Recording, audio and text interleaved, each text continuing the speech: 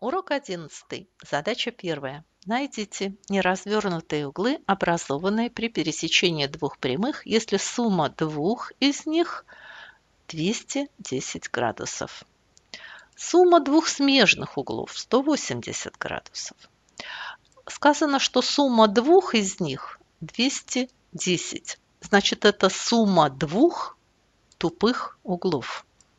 Давайте найдем градусную меру одного тупого угла. 210 надо разделить на 2. Получится 105 градусов. Градусная мера одного тупого угла.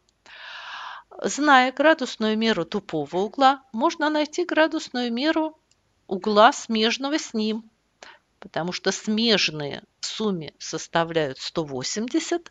Значит, градусная мера острого угла 180 минус 105 75 градусов.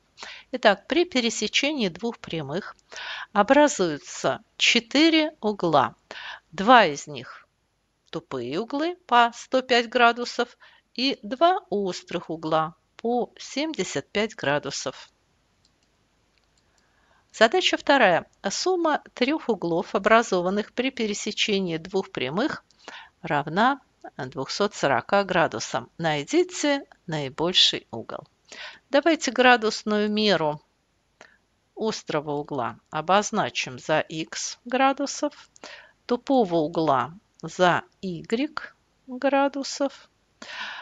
При пересечении будут образовываться острые и тупые углы, потому что сумма трех 240. Потому что если бы это были прямые углы, то тогда сумма трех была бы 270.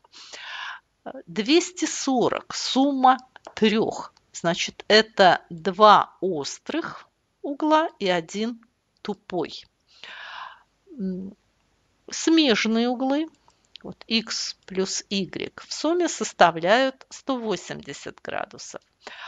А, по условию задачи, значит, сумма трех углов, это два острых и один тупой, 240 градусов. Э, решая вот эту систему уравнений, э, находим x и y. x 60 градусов, а y 120 градусов. Вопрос задачи. Найдите наибольший угол. Вот из этих трех углов наибольшим углом является тупой угол. 120 градусов. Задача третья. При пересечении двух прямых образовалось четыре угла меньше развернутого.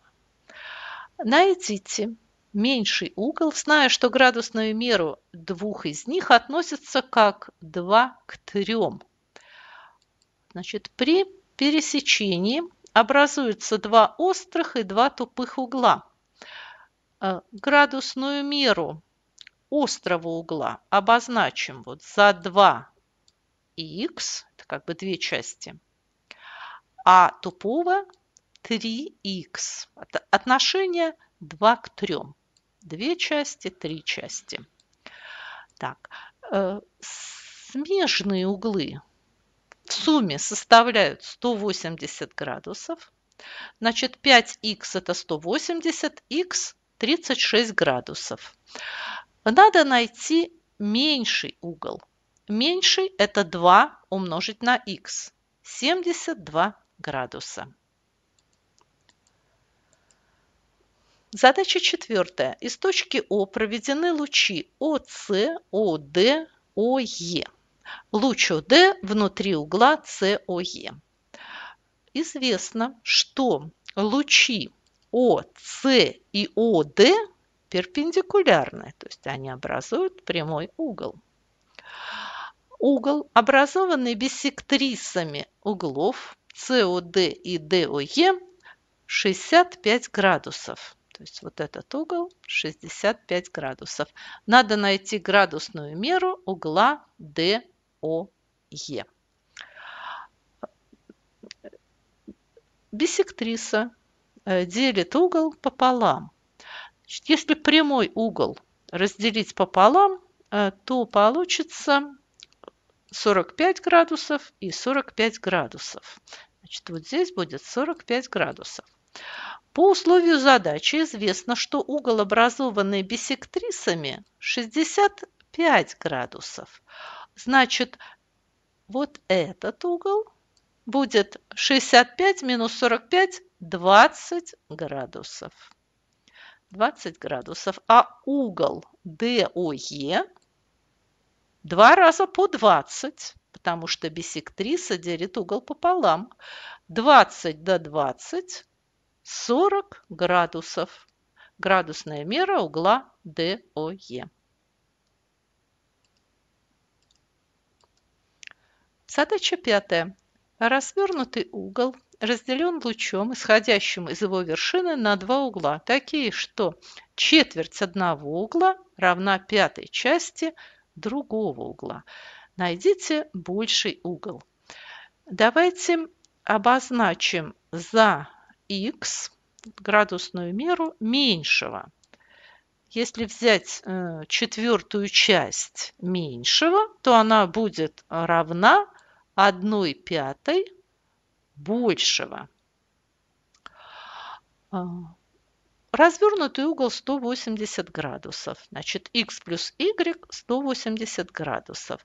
Значит, x 180 градусов минус y. А, одна четвертая часть от x – это одна пятая от y. Вместо y э, можно записать вот выражение через x, либо наоборот, x выразить через y и подставить вот в это равенство. Получится уравнение с одним неизвестным. Решая это уравнение, находим y. 100 градусов. Это больший угол. Вопрос задачи был найдите больший угол.